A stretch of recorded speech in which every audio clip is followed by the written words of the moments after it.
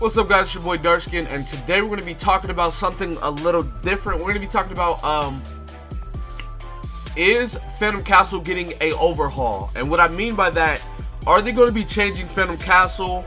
Are they going to be reworking Phantom Castle? Are they going to be making it a little bit different? Or what's going to be going on? And um, the reason why I thought about this is because with the recent update, we got a new unit, and that unit was Utakata, right? Now, along with Utakata, they brought back some very, very, very ancient and very old skills, or abilities anyways. Um, if you look right here, start Phantom Castle with one extra chakra, one extra chakra, one extra chakra, right? Now, we haven't seen these abilities until, since, um, back with the 5-star Asuma, and I think like the 5-star Kurenai. So, pretty much, the last time we saw these abilities were with 5 stars, where 5 stars were actually relevant in the game, right? So, it's like, the fact that they put them on a 6-star unit is like, well, Phantom Castle isn't hard enough that we even need this, right? Like literally, the amount of units we can use to get ultra combos between Six Path Naruto, Six Path Madara, Kaguya, uh, Rock Lee, uh, Blazing Festa, I mean Blazing Bash Itachi, Blazing Bash Sasuke. The list goes on and on and on and on and on. The amount of units we can use to get a ultra combo multiple times is like insane. Not to mention half the units I just mentioned re get resets on their chakra, right?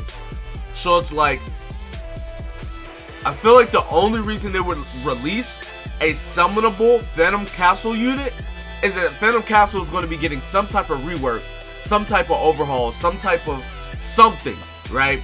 Now, the reason why I say this is because, uh, do you guys remember the first PvP unit?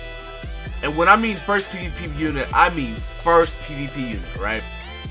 Well, if you don't, the first PvP unit was Hashirama. And let me get into why.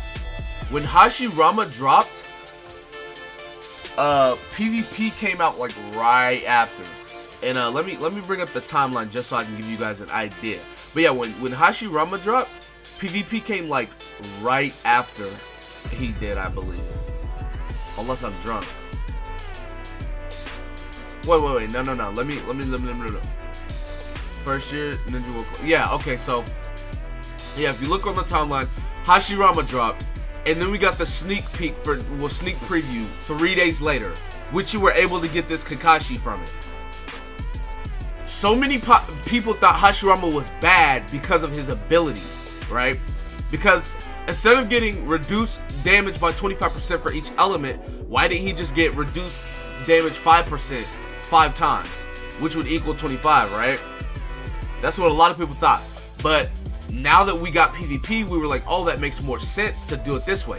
And um, if you guys don't know, whenever you have damage reduction abilities, it's not a full, like say you have damage two damage reduction abilities, both of them are 10%. It's not 20% damage reduction.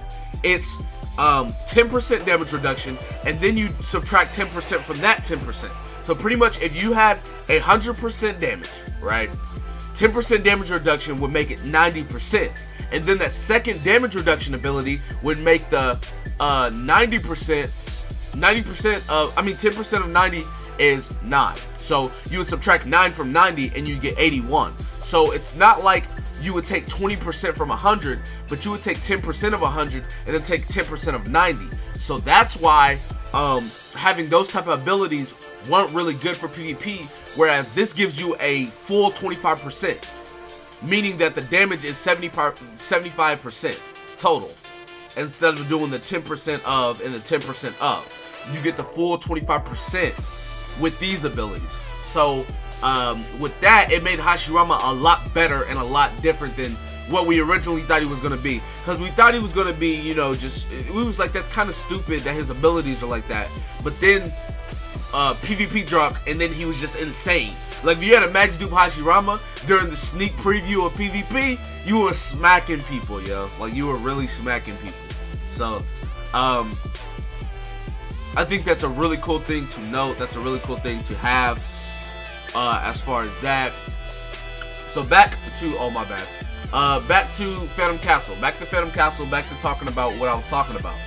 In the case of Utakata, we we think he's really bad, but what if Phantom Castle changes sometime during anniversary to make his abilities actually stupid insane? Now, I don't know if that'll be the case, but that's definitely a possibility. And if it does happen, that would be really, really cool and really, really insane. Um, I don't know. I just, I just, there's just no way. I, I, I just can't believe that they would make Utakata this bad, right? Because like Shinden Sasuke was bad, right, with his abilities. But the thing about Shinden Sasuke is Shinden Sasuke was insanely good without his abilities. Not to mention, his abilities were made for the impact, right? And he's on the body team, so it's not that bad.